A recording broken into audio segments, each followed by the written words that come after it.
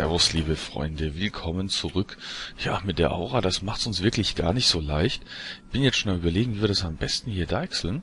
Ähm, wir werden mal so mit unseren Frostworms einen kleinen Ausflug machen. Jetzt hatte ich gerade noch die Stereoanlage eben an, das war natürlich auch nicht so Bombe. Ähm, ich will mal probieren, aber ich glaube, der hat gar nicht, auch der hat nur 750 Lebenspunkte. Ich nehme mal nur meine drei Frosties werden mal hier rüberfliegen. Da haben wir ja den kurzen Weg. Da können wir mal schauen, ob wir vielleicht noch was erledigen können. Da sind noch Gebäude. Und da ist noch ein Turm. Okay. Ähm, dann werden wir mal schauen, dass wir hier vielleicht das ein oder andere Gebäude vernichten können. Und da kriegen wir auch gleich schon wieder Besuch. Das heißt, wir gucken, dass wir gleich wieder Land gewinnen. Nicht ganz so weit, aber vielleicht so weit, dass wir hier außerhalb der Aura bleiben. So, dann könnten wir die nämlich auch schon mal vernichten. Das sieht auch soweit ganz gut aus. Müssen die eigentlich immer nur sozusagen aus, also bis zum Rand der Aura treiben, dass wir nicht direkt beschädigt werden oder getroffen sind. So. Wunderbar. Da haben wir jetzt schon mal die ersten Einheiten wieder gekillt. Die haben auch noch eine Goldmine da oben. Das ist natürlich auch blöd. Ähm, so, den mal zum Brunnen wieder zurück. Und hier haben wir unsere Spinne fertig. Mit der werde ich jetzt mal schauen, inwiefern wir hier weiterkommen. Wo müssen wir eigentlich da genau hin? Weil mich interessiert jetzt mal, ob die, wie gesagt, hier die Aura gut überstehen oder ob die da nicht immun gegen sind, ob die da jetzt auch sozusagen ja, äh, Schaden nehmen, in Mitleidenschaft genommen werden, äh, gezogen werden. So, oh, wir gucken mal rein und ja, die werden also auch betroffen. Das heißt, den stellen wir dann mal hier hin. Und wir sollten uns dann doch nochmal über Frostworms Gedanken machen. Ähm, Gargoyles, hm, da ist leider nichts zu sehen. Oh, maximale Beschränkung. Wir können also keine zusätzlichen mehr bauen. Das ist schlecht. So, die Ghouls sind hier noch am Holz sammeln. Da kommt auch einiges bei rum. Das ist sehr schön. Ähm, wie sieht's hier aus? Da haben wir noch einen Fleischwagen stehen. Den können wir natürlich auch gleich da oben hinpacken. Bin jetzt schon überlegen, aber hier oben, das ist ja schon Gebiet, wo die Aura aktiv ist. Das heißt, da können wir so gar nicht ran. Ähm, hm, unsere Gebäude, naja. Hm, da ist auch gleich die Goldmine, also mich würde das schon in dem Punkt reizen. Wir gucken jetzt doch nochmal mit den Frosties. Und ähm, werden dann dort nochmal hingehen, müssen da wohl etwas stufenweise angreifen. Aber das wäre, glaube ich, eine ganz gute Methode, wenn wir hier ein bisschen die Türme vernichten und die Gebäude. Denn dann können die zumindest nicht mehr so richtig groß was bauen. Aber da kommen schon wieder die nächsten. Gleich wieder zurück. So. Und wieder hin. So, dann können wir da gleich mal schauen, dass wir doch da den einen oder anderen wieder vernichten. Moment sieht's noch ganz gut aus, wobei die Frosties gehen schon wieder hier. Ja, wir werden mal wieder den Rückzug antreten. Also mit drei Frostworms kommen wir da leider nicht weit. Ähm, ja, das ist natürlich jetzt ein Problem. Das ist ein richtiges Problem, denn wir können ja nicht äh, mit dreien da immer hin und her. Wir haben so gesehen eigentlich zu viele Einheiten. Beziehungsweise falsch aufgestellt, die Einheiten. Hm. Wenn ich aber jetzt hier die Kollegen nehme, wie viele haben wir von denen? Sechs Stück? Sechs Stück plus den Oger können wir noch nehmen. So, dann wären wir bei sieben plus unseren Helden. Und ja, dann machen wir doch noch mal eine Tour nach drüben. Gucken, ob wir da nicht noch was erreichen können. Die sind ja alle wieder voll geheilt. So. Und dazu vielleicht dann hier noch die vier Einheiten dazu. So, dann sieht das nach einer ganz vollen Truppe aus. Wir gucken mal, ob wir somit was erreichen können. Ähm, ja, das wird natürlich jetzt eine enge Sache, mal gucken. Aber am liebsten würde ich da oben in den Frostworms reingehen, denn ich glaube, die machen da doch ein bisschen mehr Schaden und können etwas mehr erreichen. So, zum Glück heilen die sich ja alle wieder relativ schnell. So, und hier muss ich aber auch mal schnell das vernichten. Jetzt können wir hier mal ran. So, das sieht ja mit diesen Fleischwagen ganz gut aus. So, und hier haben wir unseren Lebensbrunnen. Das heißt, da können die sich ja soweit alle wieder heilen. Außer den Fleischwagen, die können da nichts machen. So, wir versuchen aber jetzt mal hier den ersten Angriff zu starten, dass wir vielleicht zumindest die Türme soweit schon mal platt kriegen. Das sieht ganz gut aus. Und ja, da werden wir jetzt einige Einheiten verlieren. Hauptsache wir kriegen die Türme soweit schon mal platt. So, dann hier gleich den Ork heilen. Ja, das sieht schon mal ganz gut aus. Wir gehen mal gleich wieder runter. Werden auch hier mal auf die Schnelle wieder heilen. Zumindest ist die, die wir so auf die Schnelle heilen können. Ähm, so, den haben wir auch wieder fertig. Oh, der muss geheilt werden. Oh, die Einheit kann ich nicht heilen. Dann werde ich mal den hier heilen. Ne? So hält sich das in Grenzen. Ja, so geht's im Moment eigentlich noch. Oh, hier unten ist gleich leider ein Ogerfutsch, aber ich kann das mit dem Heilen ganz gut hinkriegen. So, da haben wir den Wassergeist schon mal weg. Mal schnell schauen, ob wir uns hier wieder ein bisschen regenerieren können. Natürlich zusätzlich heilen, aber das ist natürlich ein ganz guter Punkt hier. Da kriegen wir so langsam wieder die Energie hoch an dem Gesundheitsbrunnen. Das ist cool, denn damit kommen wir so wieder ein bisschen aus der Problemzone raus. Der ist, naja, nicht groß angeschlagen. Allerdings können wir uns hier tatsächlich wieder regenerieren. Und da müssen wir jetzt mal aufpassen, wenn ich das richtig gesehen habe, kam da Besuch. Das heißt, wir werden mal die hier zur Sicherheit... Ja, da sind sie schon gerade auf dem Weg. Ja, unverzüglich. Wenn wir hier doch mal den Angriff starten. Wir sind ja hier am Lebensbrunnen, da dürfte ja eigentlich nicht allzu viel passieren. Und da können die sich nämlich hier mal ganz schön austoben. Ja, damit haben wir die Angriffswelle auch schon mal soweit dann gleich weg. Das sieht richtig gut aus und dadurch, dass wir natürlich hier am Lebensbrunnen sind, haben wir hier optimale Möglichkeiten. So. So, und jetzt müssen wir hier den noch vernichten. Ja, fall um. So, sehr gut. Ja, logisch klingt das logisch. Alle wieder zum Brunnen zurück. Ja, und damit haben wir das hier auch schon mal wieder etwas bereinigt. Den Angriff konnten wir abwenden. Und hier oben, die Jungs, haben sich soweit alle wieder erholt, trotz der Aura. Das ist richtig cool. Und der baut hier Wassergeister ohne Ende. Das ist natürlich gar nicht von Vorteil. Und da haben wir auch noch zwei von denen. Das heißt, da können wir aber gar nichts groß machen. Jetzt höchstens am überlegen. Wir können ja mal probieren, dass wir... Nee, muss eine organische Einheit sein. Na toll. Das heißt, die können wir so gar nicht angreifen. Da brauchen wir definitiv Lufteinheiten. Das wird jetzt schwierig.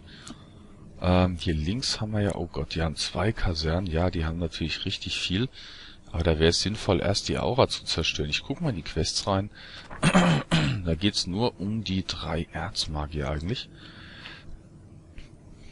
Hm, hm, hm, hm. Das macht's nicht so leicht. Also äh, werden wir doch mal, ne, den Keltusat lassen wir den mit drin, ne, den nehmen wir mal raus. Den nehmen wir lieber mal raus. Ich glaube nicht, dass der in der Aura da so richtig gut zurechtkommt. Dann nehmen wir nur die vier Drochin. Werden uns mal hier oben zum Gesundheitsbrunnen begeben. Und werden daraus mal eine fast komplette Truppe machen. Ah, das Mana ist auch fast wieder aufgefrischt. Das ist gut für die Heilung später. Ach, der Blaudrache ist auch immun, so wie es aussieht. Das ist auch nicht schlecht. Das ist gut zu wissen, dass der immun dagegen ist. So, die heilen sich. Ja, und wenn der natürlich immun ist, der Blaudrache. Jo.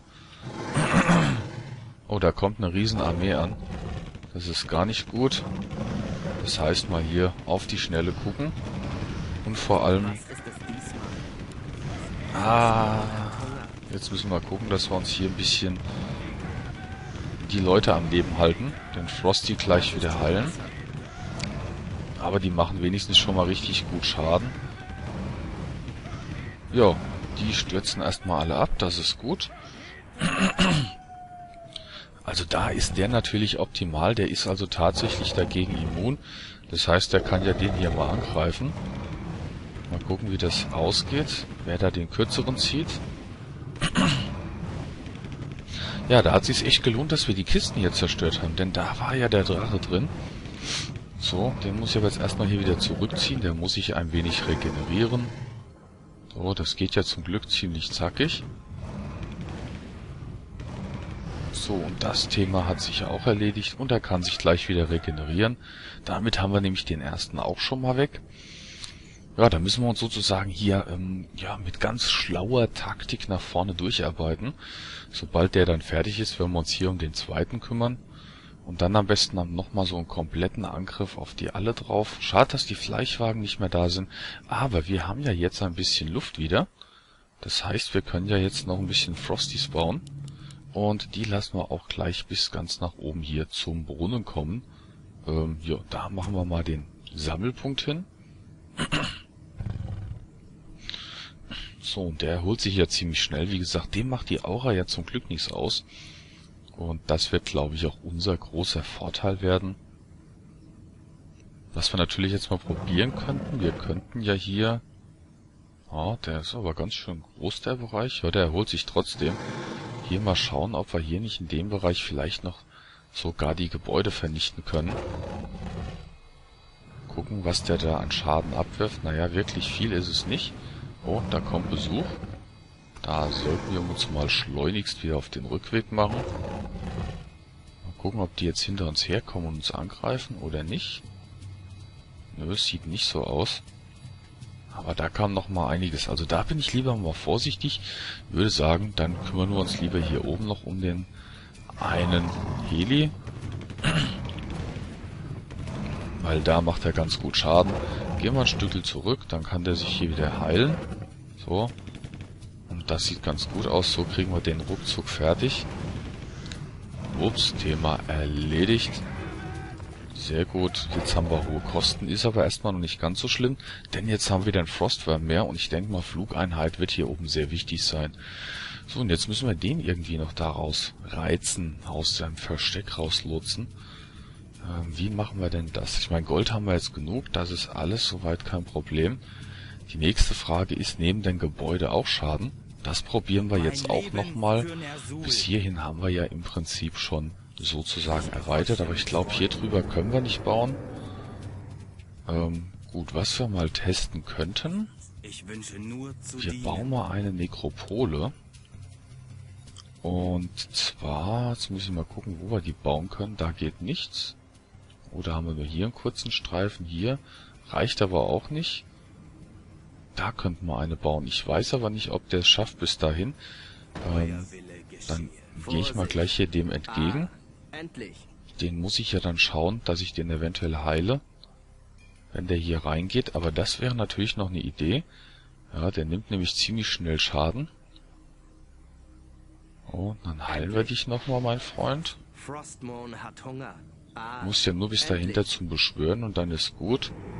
So, wenn das nämlich jetzt hinhaut, das wäre optimal. Und ähm, ich würde sagen, du gehst wieder zurück. Ich halte dich aber nochmal. So, dann solltest du es bis nach draußen wieder schaffen. Und ähm, ja, mal gucken, ob das hinhaut mit der Nekropole hier oder ob das Gebäude auch Schaden nimmt. Das weiß ich eben nicht. Oh, mal gucken, wie sieht's bei dir aus, mein Freund? Ja, du bist aus dem Gröbsten raus, das ist perfekt. Frostworms kommen auch welche dazu. Das ist auch wunderbar. Der erholt sich auch so langsam wieder. Der ist schon wieder bei voller Gesundheit. ähm, ja, dann werden wir hier mal jetzt einen vorsichtigen Vorstoß wagen. Ach, da ist auch noch so einer. Gut, dann gehen wir mal kurz an den Turm zum Angriff und gleich wieder zurück. Denn ich glaube, das wird dann doch eine enge Geschichte. Oh, Huiuiui, ja, das macht's gar nicht so leicht. Da unten wird die Nekropole gebaut. Wie gesagt, das will ich zum Test noch machen, um zu sehen, ob die vielleicht in der Aura bestehen kann. Oder ob das, äh, da kommt der nächste, das ist gut. Oder ob das nur auf, äh, ja, bewegliche Einheiten sozusagen zutrifft. So, der Turm hat irgendwie aber nicht wirklich viel abgekriegt. Oh, oh, oh, oh. Der macht ganz schön Rabatt das ist gar nicht gut. So, da können wir aber angreifen. Weil da werden wir ja wieder geheilt. Hey, kommt wieder zurück, Leute. Macht da keinen Unsinn. Hey, macht keinen Quatsch, mein Freund. Komm schön wieder zurück. Endlich. Das ist schon Oh, jetzt gibt's hier doch noch einen Kampf. Eieieiei, so war das gar nicht geplant, Leute. Hallo. Hallo. Dann drehen die hier alle am Rad. Gut, dann gucken wir, ob wir jetzt den Zauberer einfach plattbalzen. Tatsächlich. Gut, okay, mal einen schnellen Angriff gemacht. Die Aura ist erledigt. Wir haben es tatsächlich noch geschafft. mich, euch nur anzusehen, Arthas. Ich mache euren Qualen gern ein Ende, alter Mann. Ich sagte euch doch, eure Magie kann mich nicht aufhalten.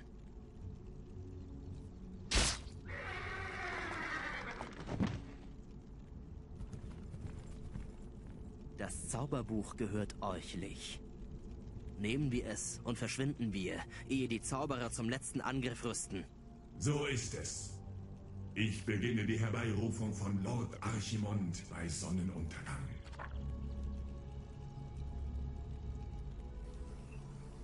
So. Also haben wir das doch relativ zügig erledigt. Da habe ich viel zu kompliziert gedacht. Aber ja gut, die Mission ist erfolgreich beendet. Und ähm, ja, da geht's in der nächsten Folge weiter. Wir haben natürlich hier richtig gut eingesammelt. Bei den Helden, ja, haben wir gut Punkte einkassiert. Das lief mal richtig schick. Und ähm, ja, ich bin jetzt mal gespannt, was uns dann beim nächsten Mal wartet.